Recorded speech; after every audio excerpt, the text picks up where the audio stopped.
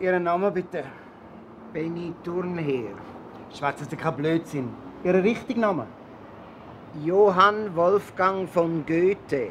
Sehen Sie, es geht ja.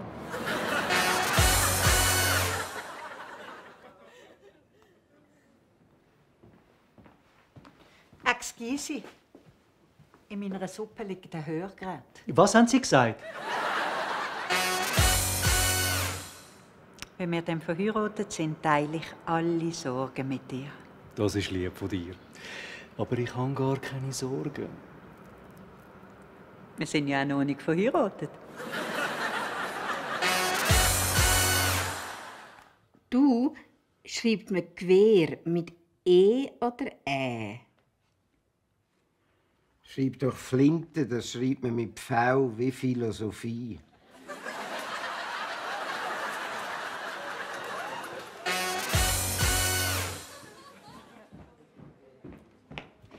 Ich will sofort mit dem Herrn Direktor reden.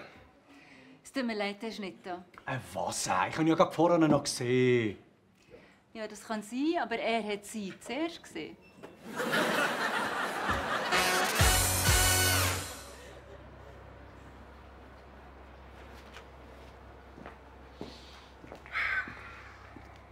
Also, wohin geht's jetzt? Zu dir oder zu mir? Oh je, wenn das schon so kompliziert anfängt, dann lassen wir es lieber bleiben.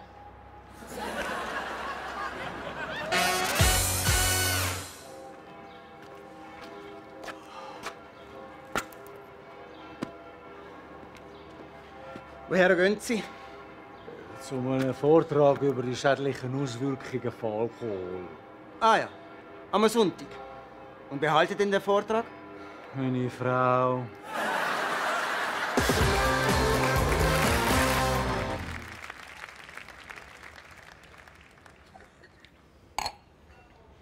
Was ist denn auch los? Ist etwas nicht gut? Seit zwei Wochen ist meine Frau verschwunden. Dabei hat sie nur schnell wollen, gehen Zigaretten holen. Das ist doch nicht so schlimm. Nimm von meinen.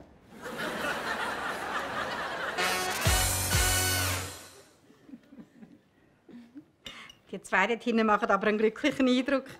Sind die echt auch verheiratet? Ja, er zu Basel und sie zu Bern.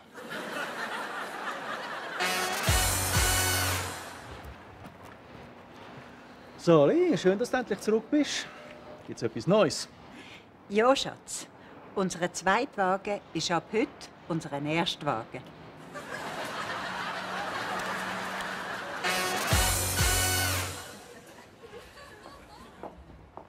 Ich habe einen Kollegen, der hat schon in sämtlichen Casinos von der Welt gespielt und hat noch nie verloren. Was hat denn der gespielt? Klavier.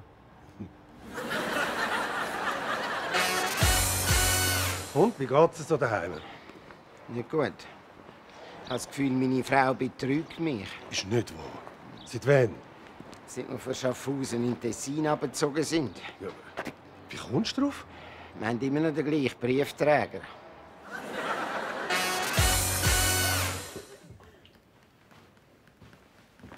Hallo, Entschuldigung. Darf ich etwas bestellen? Ja, sehr gerne, die Dame. Unsere Spezialität sind Schnecken. Ich weiß. Vor einer Stunde ist schon mal einer da und gefragt, was ich will trinken.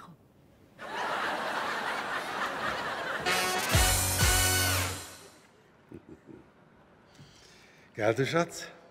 Du hättest dir in deinen wildesten Träumen nicht können vorstellen dass ich einmal Direktor werde. Ja, das stimmt. In meinen wildesten Träumen kommst du nämlich gar nicht vor.